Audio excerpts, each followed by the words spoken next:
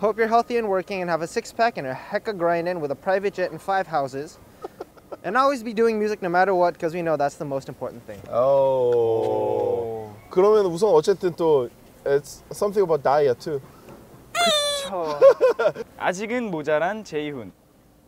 투 완벽한 제이훈. 이라고는 썼어요. 근데 이거는 저 자신을 조금 미화시킨 거 감이 없지 않아 있어요. 왜, 왜 미워해요? 네. 자, 읽어보겠습니다. 안녕. 넌 이제 29살이겠구나. 좀 더 체력이 안 좋아졌지? 지금부터는 하루하루가 다를 거야. 긴장해. 정신 똑바로 차려. 원일 셰프님께 맛있는 거 많이 사달라 그래. 이대 앞 가게를 찾아가. 그곳을 털어. 이렇게 썼습니다. 오. 와, 네. 야, 어, 이대 앞을 굉- 찾아갈게요. 어, 굉장히 굉장히 모든 골들이 스페시픽하네요. 예, 이렇게 정확하게 딱 뭐뭐뭐 해야 될지 이렇게 딱 하고 찍어서 콕 찍어서.